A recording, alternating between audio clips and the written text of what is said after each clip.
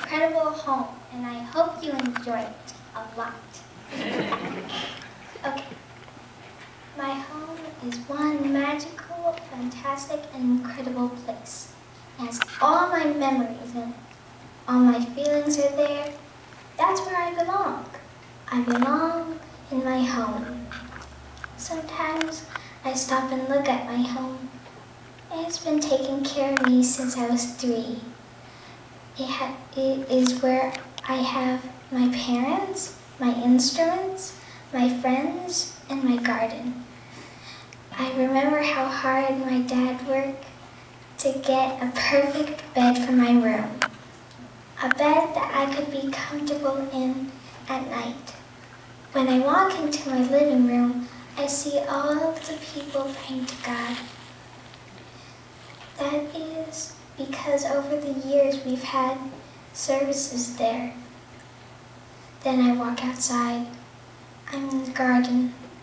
Here I remember that my mom grows tons of food that we eat, like kale, papayas, cilantro, peppers, broccoli, mangoes, lemons, limes, grapes, bananas, and lots more.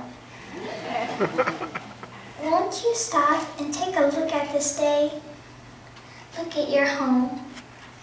Take a look outside at the beautiful surroundings. Then look at both. Both are very beautiful. You might not see today, but you will see it one day. The nature outside and the nature inside is wonderful to notice. Even though you might not feel the wonder, you understand that it's trying to help you become a better person. A home is an incredible place to be in.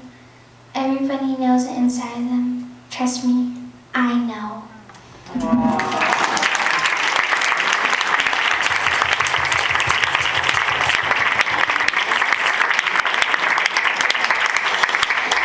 We might we might end with a little healing, so please come forward so we can do a little bracha, a little healing.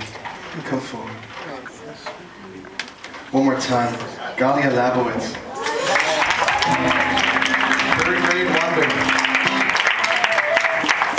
Come together, come together.